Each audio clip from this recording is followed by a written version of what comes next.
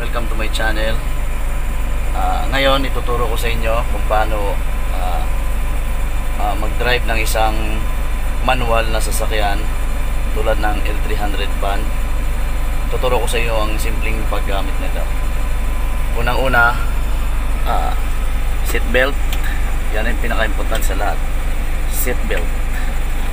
Okay.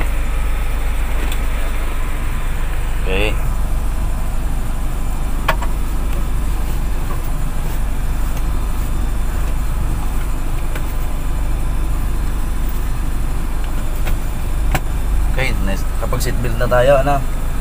Pagkatapos mo mag-seatbelt, uh, tuturo ko sa inyo kung paano gamitin ang clutch, brake, and gas. Okay? Ito.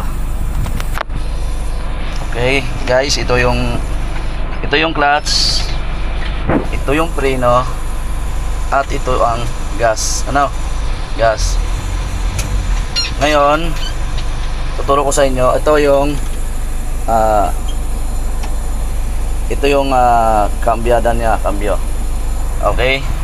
Ito naman yung on off na lights. Ito naman yung tubig ng mirror, ah, ng salamin. Okay? Ito yung handbrake, handbrake. Okay? Ito, baba na natin ang handbrake, guys. Yan. Pipindutin mo lang itong button tapos ibaba, okay? Yan. Simple lang. Tapos clutch. Then kambya, taas, sekunda. Dahan-dahan igagas, ibibigyan ng gas. Then tatakbon siya. Okay? Okay, nakapagpatakbo na tayo ng sasakyan. Okay? Ganyan lang. Bago clutch, kambya. Okay? Yan, ganyan lang kasimple.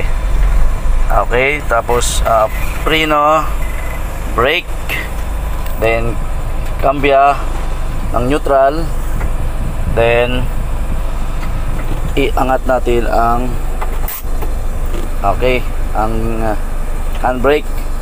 Iangat lang, huwag mo nang pindutin, angat lang. Okay?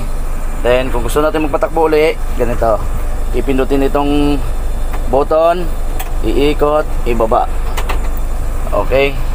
Then, clutch. Ito yung clutch. Katapos ng clutch, ito ay magkakambyade tayo na segunda. Then, itong gas. Okay? Dandahan bitawan ng clutch.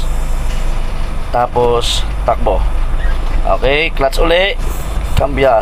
Tercera. Okay? Then, takbo.